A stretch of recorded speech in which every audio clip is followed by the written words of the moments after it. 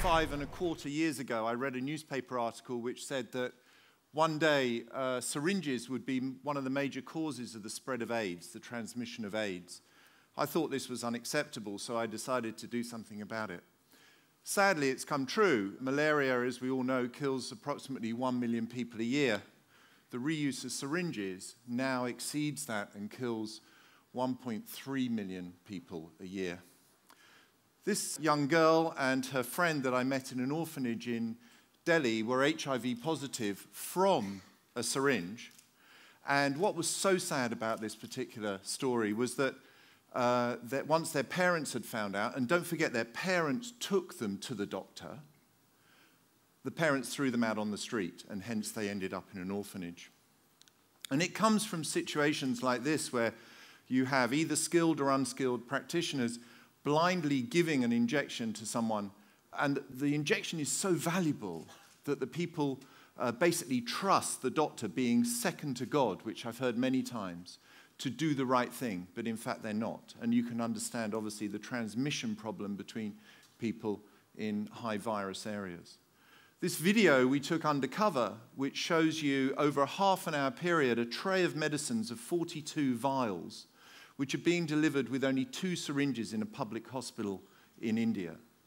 And over the course of half an hour, not one syringe was filmed being unwrapped. They started with two and they ended with two.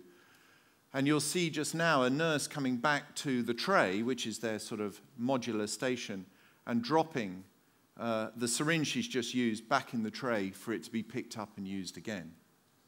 So you can imagine the scale of this problem. And in fact, in India alone, 62% of all injections given are unsafe. These kids in Pakistan don't go to school, they are lucky. They already have a job, and that job is that they go around and pick up syringes from the back of hospitals, wash them, and in the course of this, obviously picking them up, they injure themselves, and then they repackage them and sell them out on markets for literally more money than a sterile syringe in the first place, which is quite bizarre.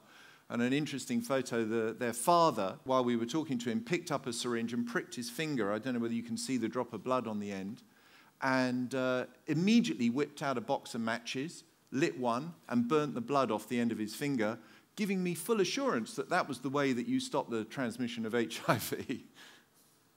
In China, recycling is a major issue, and they're collected en masse. You can see the scale of it here, and uh, sorted out by hand back into the right sizes, and uh, then put back out on the street.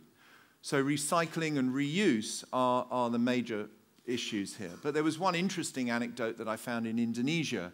In uh, all schools in Indonesia, there's usually a toy seller in the playground. The toy seller, in this case, had syringes, which they usually do next door to the diggers, which is obviously what you would expect.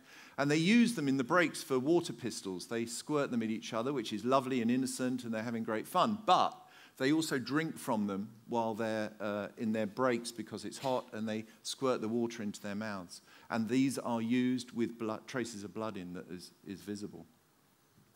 So we need a better product and we need better information. And I think if I can just borrow this camera, I was going to show you my invention, which I came up with.